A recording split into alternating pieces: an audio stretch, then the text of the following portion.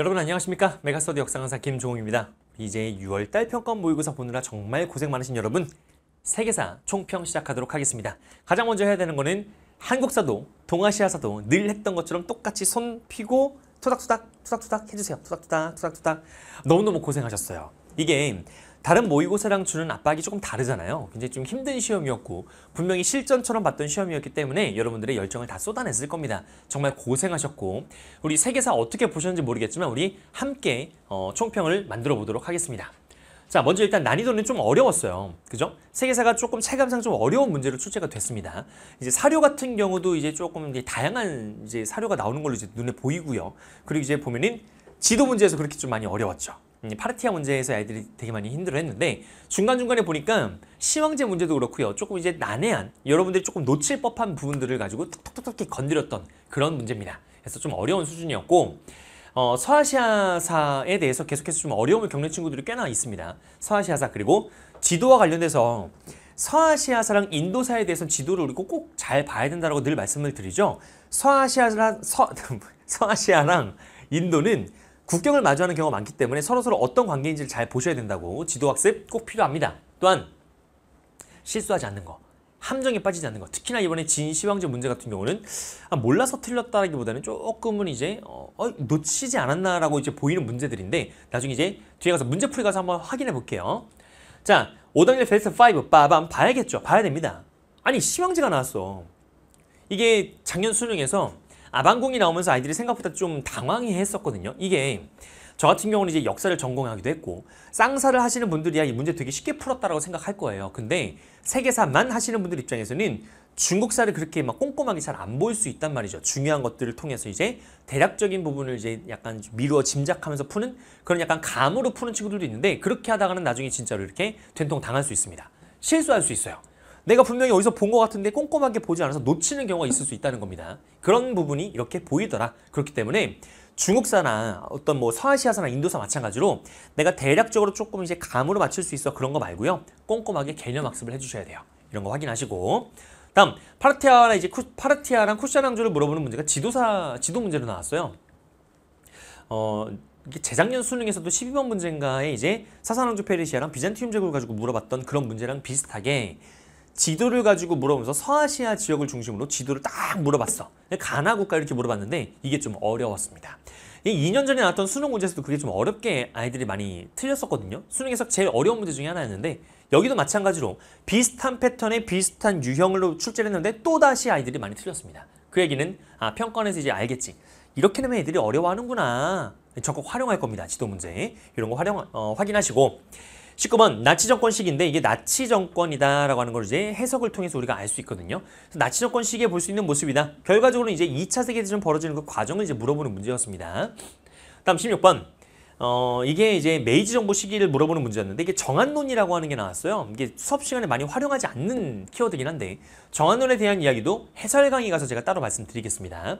다음 9번. 어, 아바스 왕조를 물어보는 문제였어요. 음, 그냥 아바스 왕조인지 분명히 알 수 있을 것 같은데 이것도 뒤에 가서 보겠습니다. 잘 보시면은 서아시아사에 대해서 꽤나 조금 어려움을 겪고 있는 경우를 볼 수 있겠지. 물론 지금이 6월 달이기 때문에 뭐 1월부터 시작을 했든 3월부터 시작을 했든 아니면 중간에 시작을 했던 간에 서양사가 굉장히 양이 많아서 서양사 중심으로 공부했다는 게 눈에 보이죠. 서아시아사에서 조금 약한 부분이 분명히 보입니다. 그래서 6평에서 이렇게 봤으니까 앞으로가 중요한 거잖아요.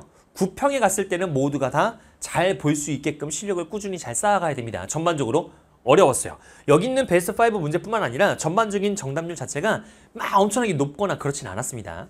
같은 역사 과목이라고 하는 동아시아사에 비해서는 좀 어려운 문제였습니다. 이렇게 총평을 마무리하면서 각각 주제사별로 중국사, 뭐 일본사, 서아시아사 이렇게 몇 문제씩 나왔는지 한번 볼까요?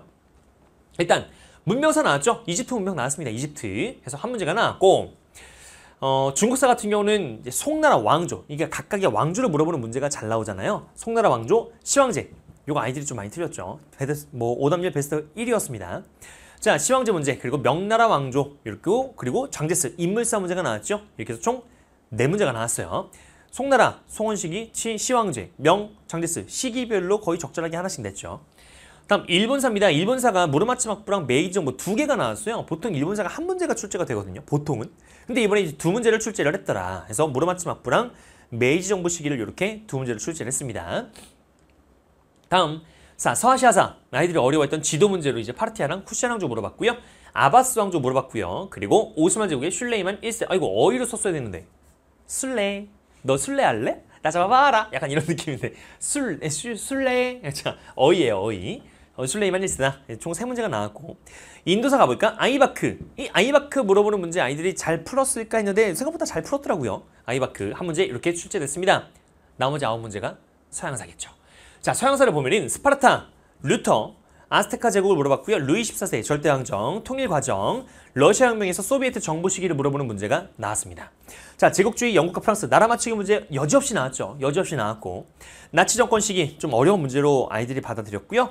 반둥회의까지 해서 하나, 둘, 셋, 넷, 다섯, 여섯, 일곱, 여덟, 아홉 문제가 나왔는데 생각을 해보면 중세 유럽사 전까지 즉 고대사랑 중세 유럽사가 거의 없어요. 뭐 프랑크 왕국이 있기를 해, 뭐 십자군 전쟁이 있기를 해, 아니면 크리스토교 세계가 있기를 해, 비잔티움 제국이 있기를 해. 출제 경향이 거의 다 이제 어, 근대 사상 이후로 나와 있죠. 보통 보면은 어디 갔어? 종교개혁 16세기 루이 14세 나오는 이제 절대왕정 17세기부터 해서 16, 17, 18세기부터 쭉 해서 나서 현대사까지가 좀 강조되고 있는 부분이 보입니다. 냉탈, 2차 세계대전, 제국주의, 러시아 혁명 쭉 보면은 좀 뒤쪽이죠. 뒤쪽, 현대사 쪽. 이쪽으로 좀 몰려 있어. 아 물론 구평에서 어떻게 나올지 모르겠지만 일단 6월달 평가원에서는 고대사와 중세사, 중세사가 많이 빠졌죠. 이런 걸 보면은 아, 중세사가 조금 이제 약해지는 건가? 이렇게도 볼 수 있지만 구평 가서 확인합시다. 그거는 자 이렇게 좀 근현대사 쪽에 좀 집중을 하고 있더라. 이렇게 볼 수 있겠죠. 총 아홉 문제 이렇게 출제가 됐습니다. 자, 어, 늘 얘기하지만 제가 모든 총평이나 모든 해설 강의 늘 얘기합니다. 늘 얘기하지만 이거 모의고사예요. 모의고사입니다. 어떤 부분이 부족하지? 나는 주제사 중에서 중국사, 서아시아사, 인도사, 일본사, 서양사 중에 가장 약한 게 뭘까? 틀린 거를 보면은 뭘 틀렸는지가 보이잖아요. 틀린 개수도 중요하긴 한데 내가 어떤 부분에서 틀렸고 어떤 부분을 별표 쳤는지를 확인해 보시면 앞으로 남은 기간에 내가 뭘 준비해야 될지를 알 수 있다는 거지. 그런 방향을 설정하는 기회로 삼으시는 겁니다. 자, 그렇다면 어떻게 공부하느냐? 늘 하는 얘기입니다. 늘 똑같은 얘기예요. 개념 학습. 이게 사료 해석 능력을 굉장히 요하는 문제가 많잖아요. 문장을 읽고 나서 이게 무엇인지 유추할 수 있어야 돼. 그러려면 뭐가 필요하다? 일단 기본적인 베이스, 개념이 탄탄해야 됩니다. 개념이 없는데 문장 해석력만 가지고 내가 문제를 푼다? 아 힘들어요. 역사는 기본적인 배경 지식이라고 할 수 있는 개념이 중요합니다. 개념. 자, 다양한 사료에 대한 연습이 필요하겠죠. 어떻게 요 이런 걸 통해서 수능 특강이나 수능 완성을 통해서 사료에 대한 연습이 필요하다. 그러면 여러분들이 기출문제를 풀어보는 것도 좋고요. 교과서에 있는 사료를 읽어보는 것도 좋고요. 다 좋습니다. 근데 연계교재에 나오는 내용까지 같이 보셔야 돼요. 연계교재를 잘 보시면은 자료 플러스라고 하는 수능 특강에 나와 있는 그런 사료들도 있고요. 실제 그걸 활용했던 문제들도 있습니다.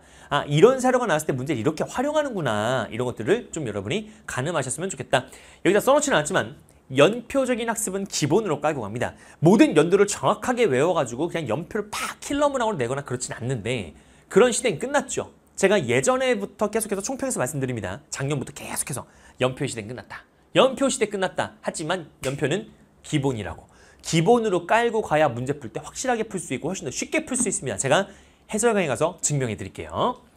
자, 그래서 김종욱이라는 사람이 지금 강좌를 어떻게 하고 있냐면 개념 끝났죠? 연표 특강 끝났습니다. 3, 4월 달에 끝났고 자, 연계 심화 특강이라고 해서 EBS에서 출제 EBS에서 출판했던 수능 특강과 수능 완성 총 5건입니다. 교육과정이 바뀌고 나서 2020년에 수특 수완, 그리고 2021년에 수특 수완, 2022년 올해 수특까지 총 다섯 건에 나오는 사료를 싹다 묶어가지고 주요 내용들과 이 사료를 볼 때 얘들아 음, 여러분도 그렇게 하고 계시겠지만 문제를 풀면서 하나하나 밑줄 치고 중요한 것들을 체크해 보세요. time attack이 없는 과목이잖아요. time attack이 없는 과목이기 때문에 조바심 낼 필요 없습니다. 하나하나 꼼꼼하게 보세요. 꼼꼼하게. 그러면서 내가 알고 있는 키워드가 분명히 숨어 있단 말이죠. 근데 이번 시험도 마찬가지지만 사료가 되게 신선한 사료들이 많이 나와요. 그러면 이걸 딱 봤을 때 어? 뭐지? 당황하는 순간 그걸 놓칩니다. 그냥 천천히 읽어도 괜찮으니까 사료를 해석하면서 중요한 키워드를 내가 체크할 수 있는 연습이 필요합니다.